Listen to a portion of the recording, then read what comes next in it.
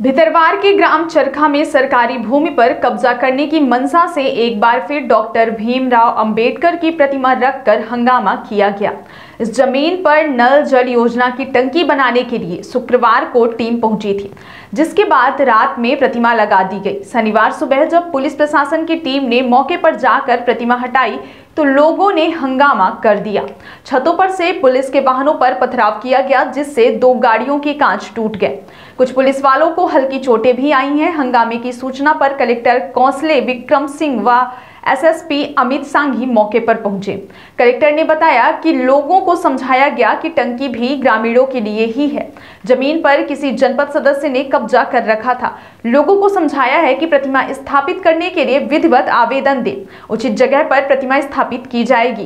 भितरवार के चरखा में सर्वे क्रमांक चौतीस की तीन बीघा के लगभग सांस की भूमि है, जिस पर पंचायत भवन के अलावा नल जल योजना की टंकी निर्माण कार्य के लिए शुक्रवार को जेसीबी पहुँची थी। काम शुरू होने की हलचल देख वहाँ लोगों ने रात में अंबेडकर की प्रतिमा लगा दी। सुबह काफ़ी लोगों की भीड़ पहुँच गई। एसडीएम अश्विनी रावत के साथ थाना प्रभारी प्रशांत शर्मा मौके पर पहुँचे और संबंधित जाटव समाज के लोगों को समझाने का प्रयास किया। जब नहीं माने तो प्रतिमा को कब्जे में लेने की कार्यवाही शुरू की। यह देख लोग भड़क गए और छतों से पत्थर फेंकने शुरू कर दिया।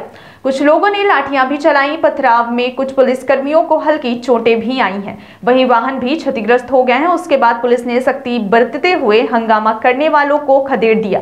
व प्रतिमा को अपने कब्जे में ले लिया, उसके बाद लोगों ने भितरवार थाने पहुंचकर भी हंगामा किया। माहौल को बिगड़ता देख लोगों ने दुकानें बंद कर ली। कलेक्टर कौसलीन विक्रम सिंह, ग्वालियर ग्रामीण ADM H B Sharma, SSP Amit Sanghi additional SP Jayraj Kuber Bhitarwar पहुँचे।